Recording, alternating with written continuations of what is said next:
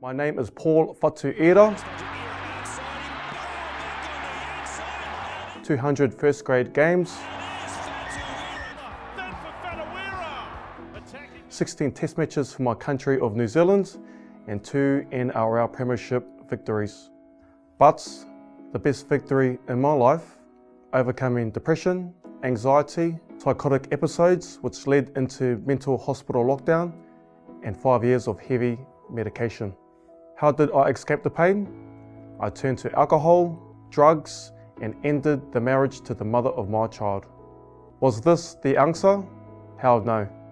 Instead of investing in professional help, who said that I had to be on medication for the rest of my life, I started to invest in myself and worked hard on my body, mind, and spirit.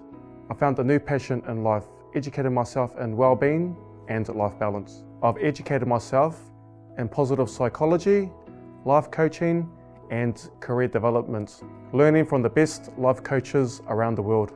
Now, I am a qualified elite athlete wellbeing manager and international motivational speaker, sharing the values and tools to keep the audience healthy and well. I truly believe your internal strength reflects your outside world. For myself, strengthening my inner well-being, I learned to build my resilience and learn to overcome my fears and face through my fears and that's why I'm so passionate to share the values and tools that keeps me healthy and well. I don't have a degree in psychology, but I do have a degree in pain. And we only have one opportunity at life, so why not give it your best shot?